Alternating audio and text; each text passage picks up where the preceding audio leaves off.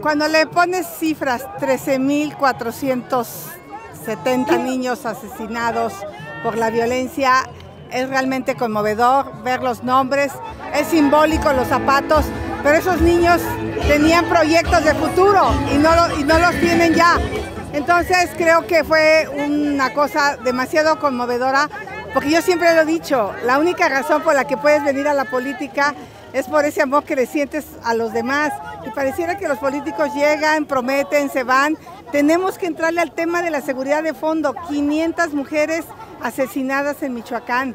O sea, en Michoacán el cobro de piso eh, eh, y la extorsión han crecido brutalmente con los aguacateros, con los limoneros. O sea, Morena no puede decir que el país está bien. El presidente tiene que asumir su responsabilidad que en cinco años no quiso asumir.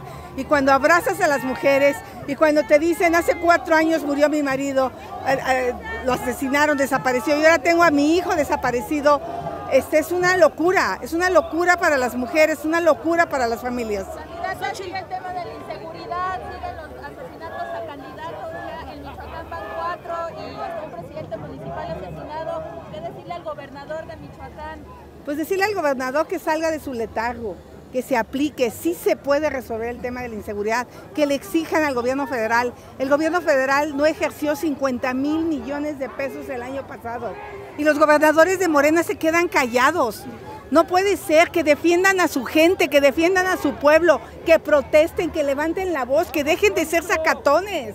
No pueden seguir los gobernadores tan callados y tan sumisos cuando ven lo que está pasando en sus estados. Viene un debate importante la próxima semana, serán temas que se estarán abordando, eh, será frontal esta, este, este... El formato del debate es distinto de entrada y yo creo que se va a prestar a que realmente podamos contrastar ideas la candidata y una servidora. Oiga, candidata, hoy es el debate de la Ciudad de México. candidatos en este eh, recorrido que ha hecho usted durante el, por el país? Pues mira, los que más la padecen son los candidatos alcaldes, los diputados locales, porque son los que están más desprotegidos, son los que están más cercanos a la delincuencia.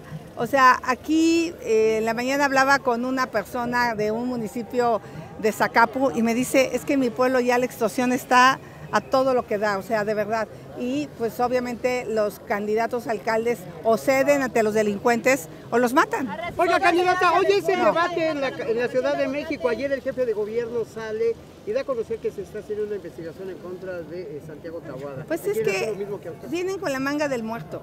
O sea, si había algo, pues ¿por qué esperarse a un mes de las elecciones? Amenazaron con denunciarme a mí, aquí los espero. Yo no tengo nada de qué avergonzarme en mi vida. Mis empresas son claras, son transparentes.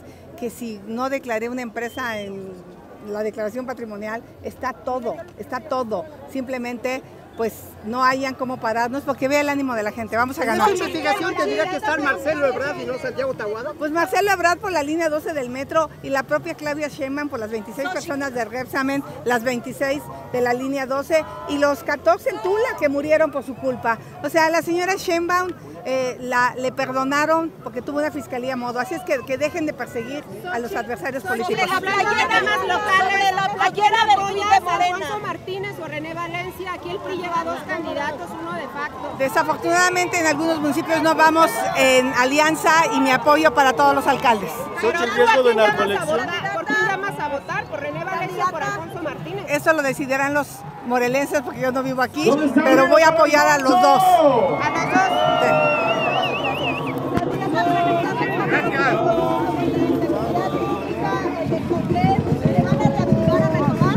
Por supuesto que sí, a través de una agencia de la prevención de desastre y atención. Sale. ¿En las encuestas cómo van? Eh, pues hablamos de, del trabajo que estamos haciendo juntos. En las encuestas,